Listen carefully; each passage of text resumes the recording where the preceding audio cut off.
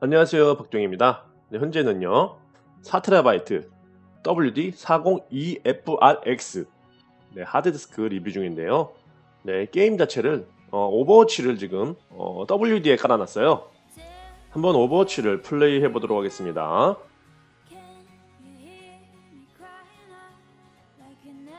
네 약간의 로딩이 있죠? 그쵸? 네 약간 하드디스크이기 때문에 어, 로딩은 약간 있죠. 네, 지금 플레이로 들어갔습니다.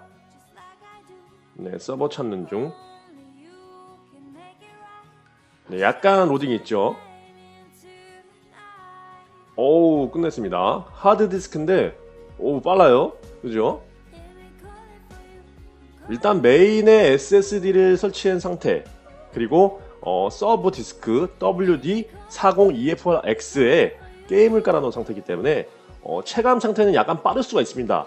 어, 그러나 아시다시피 어, 이제 하드디스크의 윈도우와 게임을 같이 깔아서 병합해서 한다면 어, 약간 더 속력 저하가 좀 있겠죠.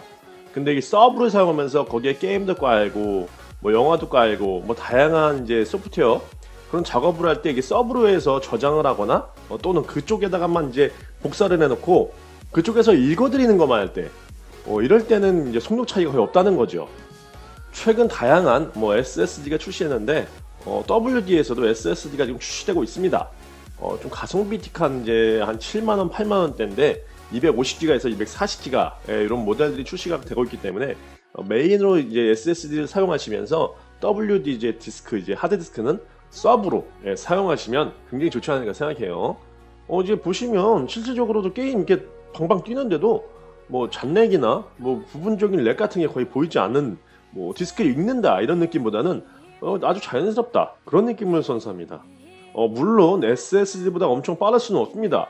그 대신에 어, 디스크에 옮겨서 아니면 또는 디스크에 설치해서 사용할 때 그다지 뭐 속도가 저하된다 또는 뭐 느리다 뭐 그런 건 뭐 느껴볼 수가 없습니다.